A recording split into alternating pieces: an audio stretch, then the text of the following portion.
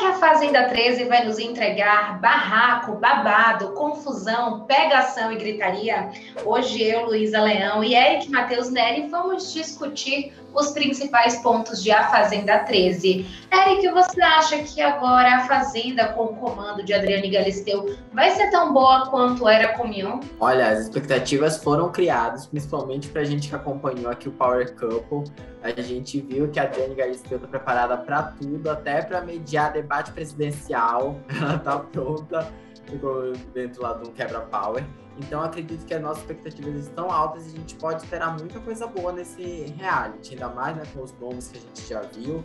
Então, acredito que a gente vai ter entretenimento até dezembro. É, é inegável que a gente vai ter uma pessoa diferente, né? Um formato, um estilo diferente de apresentação, mas o Power Couple realmente foi uma prova de fogo de Galisteu e ela passou com louvor. Foi super elogiada e eu acho que assim, ela pode conduzir bem, Eric, eu concordo com você. Os barracos que Lisiane virá, virá fazer, Tati quebra-barraco também. Mas eu queria saber, assim, na sua opinião, após a revelação de, desses nomes, quem que você acha que vai ser a rainha do barraco, a estrela, né, na confusão? Porque tem Medrado também, Power Couple. Tem a Medrado, mas assim, eu tô apostando muitas fichas na Lisiane, pelo que a gente até já noticiou aqui no, no Notícias da TV, né, que ela já tá fazendo, ela fez barraco agora lá no pré-confinamento, pelo que a gente tá acompanhando dela, dessa trajetória dela, né, até a da própria confusão do vídeo. Eu sim, a própria Galisteu já falou isso nas entrevistas, que ela sentiu que a Tati quebrar barraco tá um pouco assim ainda receosa. Amedrado, também tô com uma expectativa boa, mas fica que acho que ela vai querer ficar com esse rótulo de barraqueira, né? Depois do Power Couple.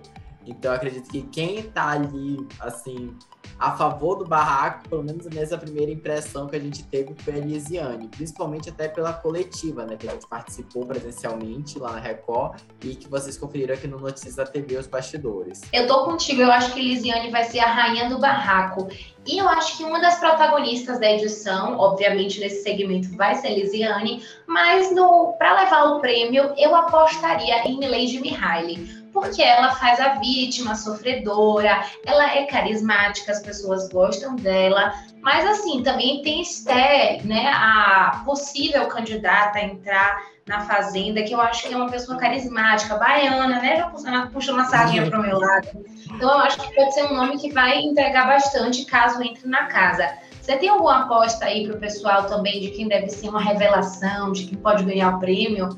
Aqui só para a gente apostar mesmo e no final ou a gente glorificar, né, se, se gabar, ou então os dois tomarem na cara. Exa exatamente, a gente quando tá nesse momento né, pré-reality, está nesse aquecimento.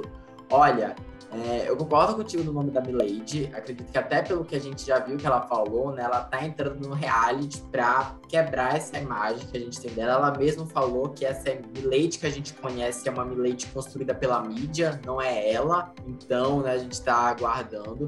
A Esté, eu já tinha acompanhado alguns conteúdos dela, mas agora, né, com a cobertura que eu fui conhecer mais e toda a história lá de, da traição. traição Ela é sincerona também.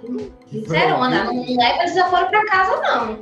Exatamente. E ela é uma das fortes candidatas ao paiol, né? o paiol TikTok. Eu estou torcendo muito pelo Krauk nesse paiol, porque ali dos quatro que entrou foi um que eu percebi que consegue se articular melhor, que também já mostrou que veio logo nesses primeiros momentos mas a gente vai é, acompanhar melhor essa dinâmica, como vai ser nesses próximos episódios agora do reality. Mas também tô contigo nesses dois nomes, né, que é da, da Milady e da Esté, caso a entre. E acho que desse, desse balaio que a gente já tem revelado atualmente, um dos nomes que eu também estou muito na expectativa é o nome do Bill. Porque mesmo ah, tendo essa desconfiança, não, Eric, não consigo, será que ele não... vai conseguir? Eu, eu também fico com o pé atrás. Porém, né, agora será que o, o na terceira chance ele vai?